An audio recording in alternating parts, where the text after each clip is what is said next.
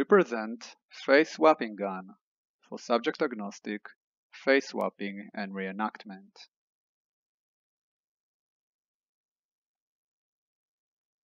We first show our method face swapping results.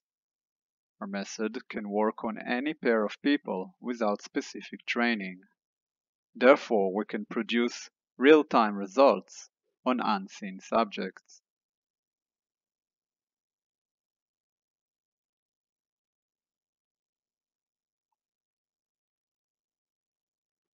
In this example, we demonstrate how our method handles the hair and microphone occlusions.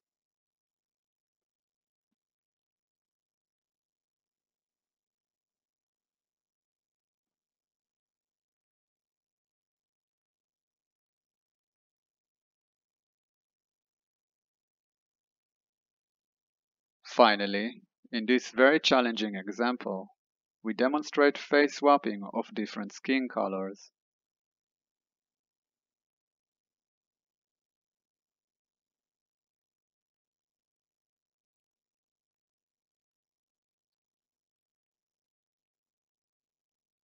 Here we demonstrate our raw face reenactment results from a single image without background removal. We transfer the pose and expression of the target face in the right column to the source face in the left column, and the results are displayed in the middle column.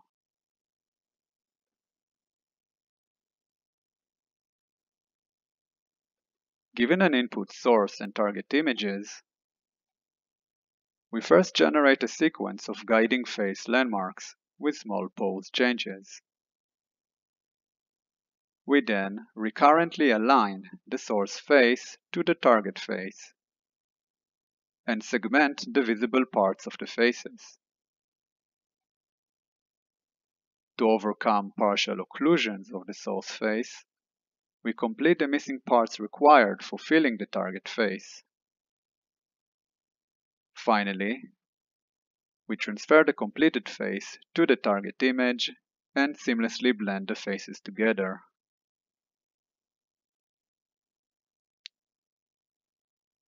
Using the Delaunay triangulation on the face poses, we construct an appearance map for the source face. To interpolate between the source face views in a continuous way, we first use our reenactment generator to align the queried source views to the same pose and expression, followed by barycentric coordinates interpolation. Here you can see a comparison between our interpolation method and the naive nearest neighbor interpolation.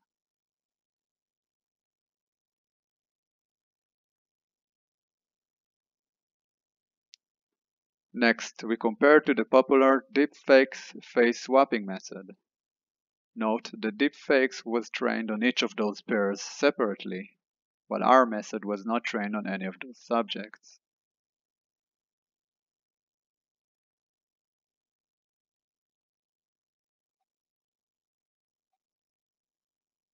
To show the flexibility of our method, we also show a comparison to the expression-only reenactment method Face2Face. -face.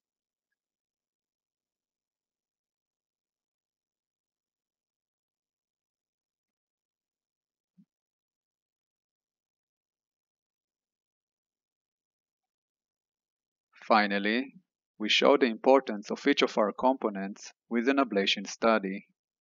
You can see that without the completion network, the transferred face won't necessarily cover the entire target face, producing obvious artifacts. And without the blending network, the transferred face won't look consistent with its new context.